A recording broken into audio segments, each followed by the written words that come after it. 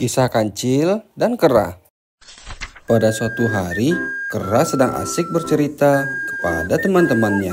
Ia bercerita bahwa ia telah menemukan kebun pisang yang luas serta banyak buahnya. Ternyata dari kejauhan, Kancil menguping pembicaraan Kera itu. Wow, informasi menarik nih.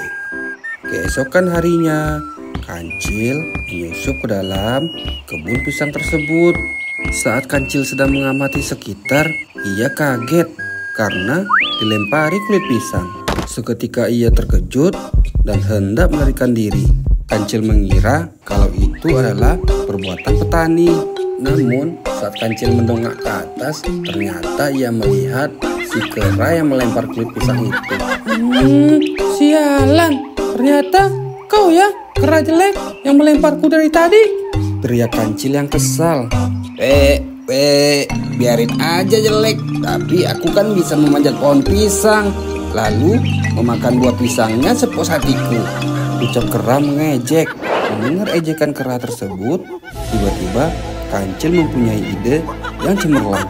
Hei, kera jelek, lemparanmu tadi itu sebenarnya tidak mengenai tubuhku loh.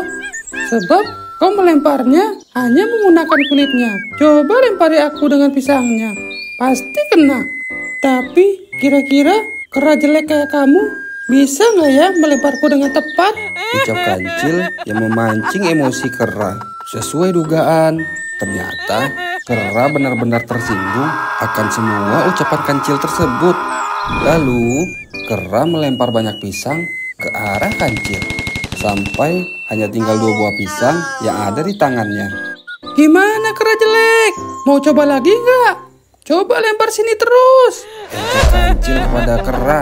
Mendengar itu, kera nekat mencoba melempar sekali lagi. Namun tetap aja meleset. Dan setelah dipikir-pikir, kera akhirnya sadar kalau itu semua hanyalah akal-akalan kancil. Dengan sigap, kancil pun segera mengumpulkan pisang-pisang yang telah berceceran, kemudian memakannya dengan senang.